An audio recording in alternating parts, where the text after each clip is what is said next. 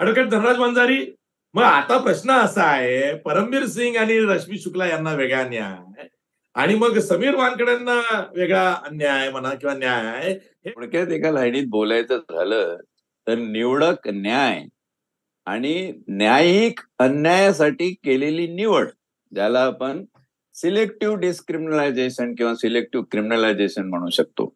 असा हा प्रकार आहे. अशीच तुला आठवत असेल जेव्हा सुरुवातीला पहिल्या दिवशी रेड झाल्यानंतर आपण चर्चा करत होतो तेव्हा मी म्हणालो होतो की हे न्यायालयामध्ये प्रकरण गेल्यानंतर हा जो प्रोसिजरल लॅब्स आहे याच्यावरून हे प्रकरण शंभर टक्के कोणा कोणावरती सेकणार आहे.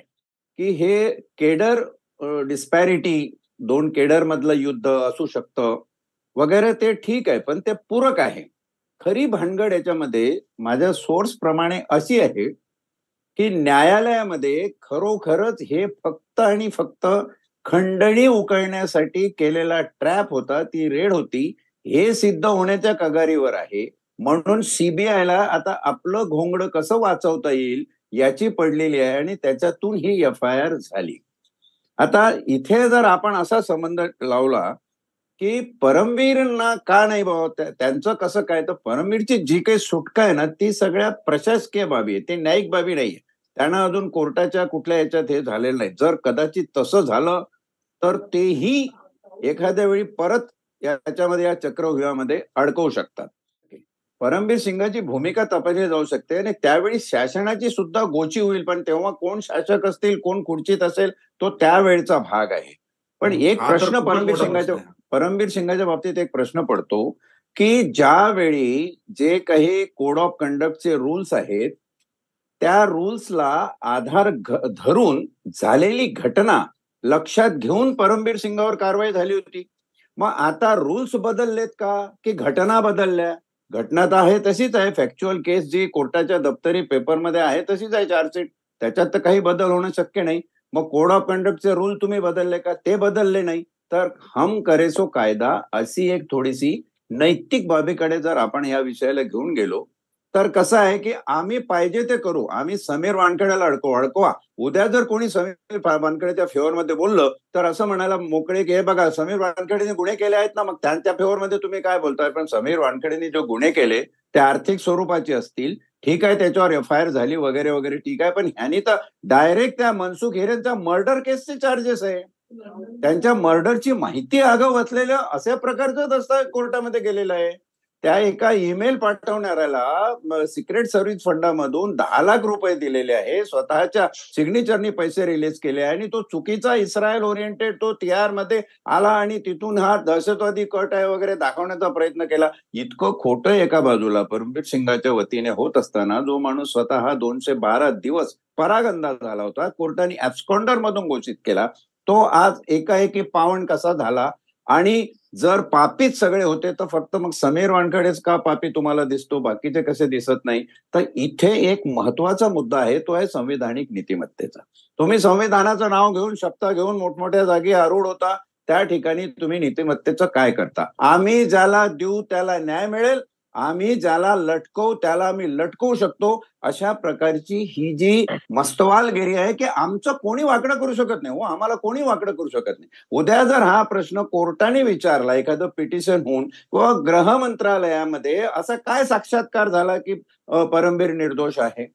ह्यांचं तर ठीकच आहे. मी तर म्हणतो मी त्यावेळी सुद्धा म्हटलं होतं की हे समीर वानकडे कोर्टाच्या न्यायिक प्रक्रियेमध्ये अडकणार शंभर टक्के. कारण यांच्याकडे उत्तरच नव्हती. स्वतः प्रेस कॉन्फरन्स काय घेतात? विटनेसेस काय आणतात कोण कुठं घेऊन जातं आणि काही निघालं नाही. कसली प्रोसिजर फॉलो केली नाही. गौतमनी सांगितलं त्याप्रमाणे त्या आधीच्या कशी प्रोसिजर असते काही काही फॉलो केलं नाही. तर ते शंभर टक्के अडकणार होते. पण आता कसं आहे की संपूर्ण सीबीआय नावाच्या यंत्रणेचं नाव खंडणीखोरीसाठी ट्रॅप लावून रेड करणारी केंद्रीय संस्था अशी बदनामी होण्यापेक्षा हे माकडींचं उदाहरण की नाकातोंडात पाणी जायला लागलं की पिल्लू पायाखाली घ्यायचं तसं त्याला पायाखाली घेतलेलं आहे. अर्थात तो धुतल्या तांदळाचा नाही त्याला डिपेंड करण्याचा प्रश्नच येत नाही. परंतु काय चाललेलं आहे व्यवस्थेचं? असं जेव्हा यक्षचिन्ह आपल्या सर्वांच्या समोर येतं तू जसं म्हणला की लेमॅनचं परसेप्शन खरंच आज लेमॅनला असं वाटतं चालू तर मनसुख सारखा माणूस मेला की हो. तुम्ही त्याच्यामध्ये काही हे करत नाही त्याला नुसतं सगळं मोकळं सगळं मोकळं सगळं क्लिअर त्याही क्लिअर हेही क्लिअर रश्मी शुक्ला मॅडम ही क्लिअर मग त्यावेळचे नियम बदलले की त्यावेळचं काय झालं? त्यावेळची माणसं बदलली. माणसं बदलली म्हणजे नीतिमत्ता बदलली. आणि कॉन्स्टिट्युशनल मॉरॅलिटी जे त्यांच्या शेवटच्या भाषणामध्ये आंबेडकरांनी घटनापीठासमोर पंचवीस नोव्हेंबर एकोणीसशे एकोणपन्नासला अडीच तास भाषण करून सांगितलं की constitutional morality is more important even than the constitution itself ती मॉरॅलिटी आता बदललेली आहे. ती इकडची तिकडे स्विंग होते आणि म्हणून आम्हाला हे असे दिवसा ढवळ्या प्रकार बघावे लागतात. हे काही नाही आमच्या प्रशासकीय व्यवस्थेचे बाभाळे निघालेले आहे. याचं पाप जे काही राजकारणी मंडळी करत आहेत त्याची उद्या परवा कधी ना कधी परतफेड होणारच. तेव्हा पंचवीस करोड एवढी मोठी अमाऊंट शाहरुख खान सारखा मातब्बर माणूस पर्सनॅलिटी समोर आहे. तर यावेळी हे लहान छोट्या मोठ्या लोकांचं काम नाही. कोणीतरी मोठा मासा आहे. आता मोठे मासे हे नेहमी स्वतःला वाचवण्यासाठी कधीतरी कोणाला बळी देत असतात. पण तेही सगळे त्याच्यामध्ये असतात. बरबटलेले सगळेच असतात. कोणी धुतल्या तांदळाचे नाही. त्याच्यामुळं ही एफ आय आर झालेली आहे. नंबर एक. नंबर दोन. कोर्टात उद्या सीबीआयचं नाव खराब होऊ नये. आम्ही ऑलरेडी आमच्या अधिकाऱ्यांना ताडण केलेलं आहे. असं म्हणायला उजळ माथ्याणी सीबीआय कोर्टात उभी राहील. त्याहीसाठी हे प्रकरण हेल्पफुल आहे. पण जर कंपॅरिझन परमवीर आणि समीर वानकडे अशी जर करायची झाली तर तुम्हाला दिसतं की निवडक न्याय आणि न्याय अन्यायासाठी झालेली निवड याच्यामधलं जे एक सूक्ष्म अंतर आहे त्यात आपले राजकारणी अतिशय धुरंधर हुशार आहेत. त्यावेळी एनआयला दिलं म्हणजे बाकीच्या एजन्सीज थंड झाल्या आणि एनआयने ते नंतर थंड्या बस्त्यामध्ये ठेवून त्याच्यावरती त्या एक्सक्लुजिव्ह वरती तो पुढे काहीच झालेलं नाही. ते ईमेल वरती वगैरे जे झालं त्याच्यातून जे झालं त्याच्यात परमवीर सिंगाचे बाबळ्या निघाले. पण गौतमनी जो मुद्दा मांडला ना तो तो खरंच फार महत्त्वाचा आहे. की हे हे मिलीभगत शब्द जो तू वापरला तो कसा पद्धतशीर काम करतो. एक कटाचा भाग म्हणून आपण याच्याकडे जरा कॉन्स्पिरेसी म्हणून बघूया. की बरोबर गौतम म्हणाला तसा सहा महिने ते जाऊ द्यायचे. कारण जर डीई इन्स्टिट्यूट करायची असेल तर रिटायरमेंट नंतर पहिल्या सहा महिन्यात ती करता येते. रिटायरमेंट नंतर सहा महिन्याचा कालावधी झाला की तुम्हाला नव्याने डीई त्यांच्यावर करता येत नाही. आता सस्पेंड तर केलं पण त्या सहा महिन्यात त्यांच्यावर कुठली डीई घेतली गेली नाही. कुठली इन्क्वायरी चौकशी काही केल्या गेली नाही. आणि आता जेव्हा करता येत नाही तेव्हा ते मागचं सस्पेन्शन सुद्धा रद्द करून त्यांना रेग्युलर करून टाकलं. तर ही एक प्रकारे गिफ्ट बिदागी ज्याला आपण म्हणू तशाच याची त्यांना दिलेली आहे. म्हणजे पुढे जेव्हा कोर्टात न्यायिक प्रकरण सुरू होईल आणि परमबीर सिंगावर काही साक्षी देण्याची वेळ येईल त्यावेळी सुद्धा वापरण्यासाठी माणूस तयार करून ठेवलेला आहे. अजून ते शंभर करोडचं ते गुराड तसंच आहे. अनिल देशमुख राष्ट्रवादी बीजेपी हे काय काय हे प्रकरण अजून तशीच आहेत. राजकीय सुज्ञता आणि ह्या जो इंटेलिजन्स त्यांचा आहे एक प्रकारे क्रिमिनल इंटेलिजन्स म्हणता येईल.